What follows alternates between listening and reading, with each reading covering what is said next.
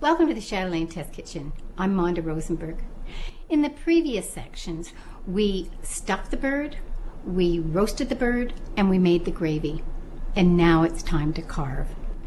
I take the finished bird, put it on the platter, arrange the garnishes around it, and take it into the dining room, set it in the center of the table as the focus point for the first course of the dinner but then I bring it into the kitchen to carve it. And the first thing you should do is take the stuffing out. The reason is that warm stuffing in a warm bird is not a good idea. And providing you take all the stuffing out, you can leave the stuffing for at least a couple of hours. Then you're ready to carve. And the first part that you take off is the leg and the thigh portion.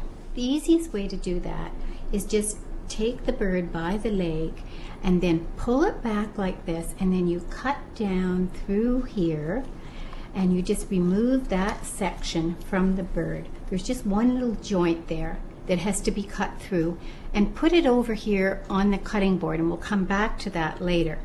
The next is the breast. Hold the wing down. You can do this with a fork if you want or just use your fingers and slice all the way along the bottom.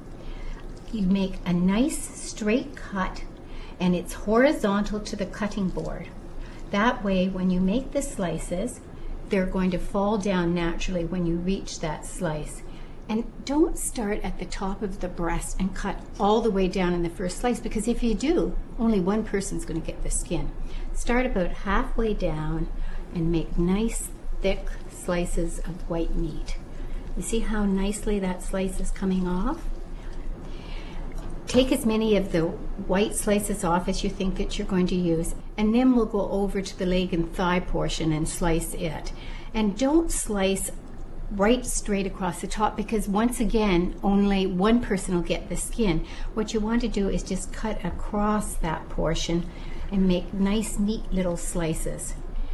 And the advantage of waiting until you've sliced the whole turkey before you start arranging it on the platter is that then you can almost put the turkey back together again so that you've got a nice contrast of dark and light on your turkey platter, just as we've done here.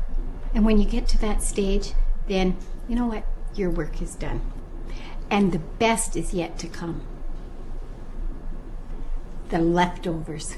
Cheers.